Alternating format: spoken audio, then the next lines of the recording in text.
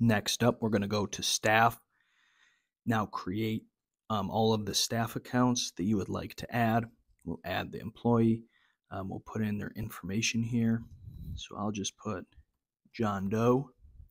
I'll put his email, john at test.com. Um, add his phone number. Make sure you add their cell phone because if they get locked out of their account or if they have to reset their password, it's going to send them a link or a, a code to this number. So make sure you put their correct phone number in there.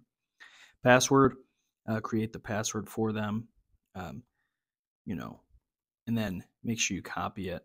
Um, you can always, once they log in, they can always reset it. Um, if you want to set up a signature for them, and then this is what's important the permissions. You can control exactly what they can and cannot see. A lot of this stuff is pretty straightforward. The social social planner. Um, I wouldn't mess around with this one unless if you have maybe um, somebody that's doing color separations and you don't want them to see anything internal. You just want them to see what's assigned. Then you would select this one. But for most of your staff members, you can just kind of keep stuff on or off.